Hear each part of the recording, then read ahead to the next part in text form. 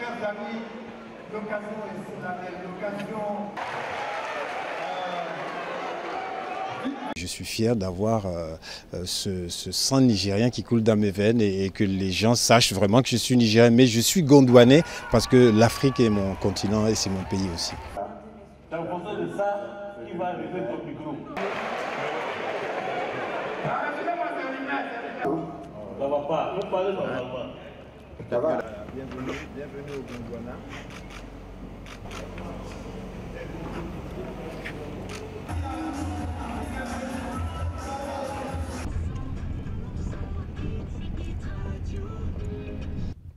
C'est là-bas. L'école va surgir et le sable, sous le sable il y a le pétrole, sous le sable il y a l'uranium. Et bien là, sous, ce sable-là, c'est le savoir qui va pousser, c'est le talent qui va éclore.